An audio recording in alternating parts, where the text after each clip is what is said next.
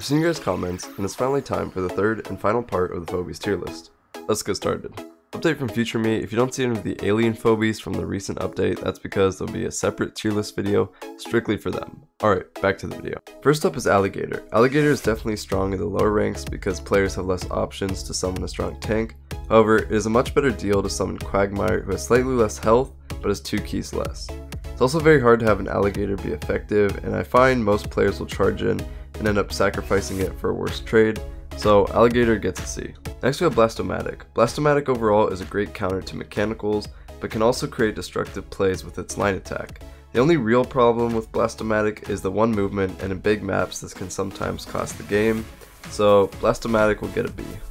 Brony is a tough one to rank. I'm seeing more and more players experiment with its ability disable all damage, however I still think 7 keys is too much for an ability that can affect your phobies and requires too much positioning. Brony will be getting a B. Fire Ant's concept of being able to place traps over walls is super interesting, but isn't needed. There are many other cheap trapping phobies that can be just as effective as Fire Ant, so it'll get a C. Fish Tank, much like Alleygator, is just not the best card that can be played. Fish Tank does a hell of a lot of damage, but can be easily countered by electrical phobies, so it gets a C.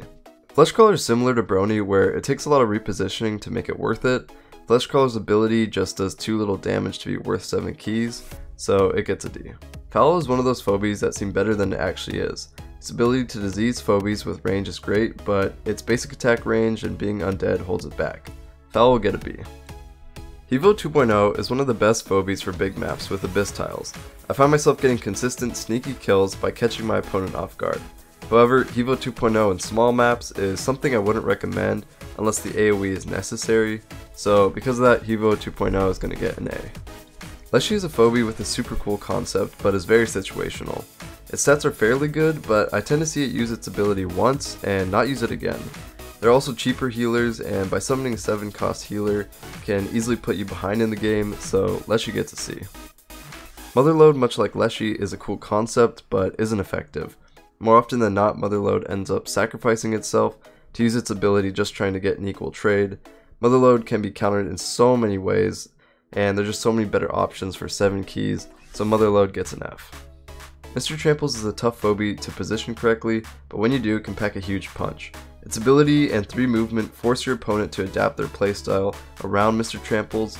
The only negative is when Mr. Tramples goes in, it usually ends up dying, so because of that, I'll be giving it a B. I feel like Oopsy Baby was a missed opportunity to be something much stronger. For a 7 cost, its health and damage are so low and even its ability isn't great. Not to mention it's mechanical, making it an easy target. Oopsy Baby is unusable currently and gets an F. There's not much to say about Sparky, except that it's great at countering mechanicals. If your opponent has 3 or more mechanicals, I would recommend using Sparky, however anything less than that is not worth it, so Sparky gets a C. Terrordactyl is a great basic 7 cost phobie. Its ability to revive and its high health make it super annoying to take down. Its range and movement speed are nothing special, but make it very versatile, so Terrordactyl gets a B. Barzilla is one of those phobies that can slowly turn the tides of who is winning. Its high health makes it very hard to get rid of, so Barzilla gets a B. Beauty is one of those phobies, when you see it come out, you just know you're going to have a tough time taking it down. Beauty forces you, much like Tramples, to reposition your board around its basic AoE and line attack. If your opponent knows what they're doing with Beauty, there's a low chance of winning. Beauty gets a comfortable spot in A. When it comes to boss, I think a lot of people overestimate it. The fire AoE is definitely cool and something to play around, but boss is usually not viable in most situations. There's usually a better summon than boss, and because of that, it'll get to C. Doughzer is essentially a Gazoon type with an absurd amount of health. Doughzer paired with a healer can be almost impossible to take down. Its ability is decent and can snag a few keys, but its movement and key cost can easily put you far behind in a game, so Doughzer gets a B. Heartbreaker is all about using its ability, and in most cases, it's never used effectively. As an 8 cost, Heartbreaker is way too weak and too situational, so it gets a D. Hi-Five is great if you're an aggressive player or in maps where rushing the heart is easy. However, in any other situation, Hi-Five is not very strong. Because of this, Hi-Five will get a C. Mildred is one of those phobies where if your opponent doesn't have a counter, then it can be extremely strong, but in most cases, Mildred will be a waste of keys. Even though its ability is an absurd amount of damage, there are many better options, so Mildred gets a C. Russel's ability to poison the entire map is one of the most game-changing abilities. From what I've seen, it forces your opponent into one of two scenarios.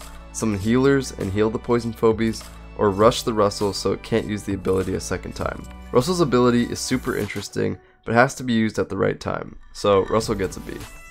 Yeti is an interesting phobie that I feel like should be used more. It's essentially a Rocket Man with 2 more key costs for the 2 attack range.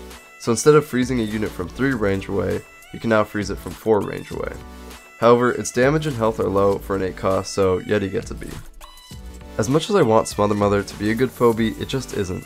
To have a pole or even a stronger Moly Bully on the field isn't worth it when there are better alternatives. It is always going to be better to save 4 keys and summon a Mofat instead, so Smother Mother unfortunately gets a C. Chuck is basically a super strong Dart Cannon. It's a fantastic phobie to use if you need map control back and is deadly against Dart Cannons. Not to mention, it's undead, so even if it gets damaged, it can be easily healed back. Chuck gets a definite spot in A tier. Overall, Heavo 3.0 is a solid 9 cost. Because of its AoE damage doesn't fall off to 50%, it makes for a great board cleaner.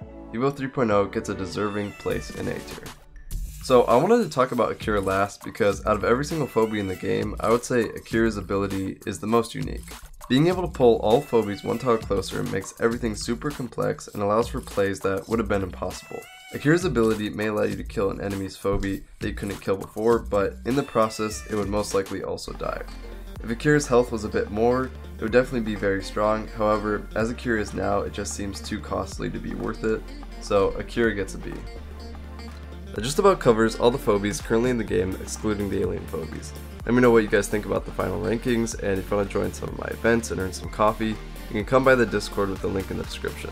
That's all for now, and I'll see you guys in the next one.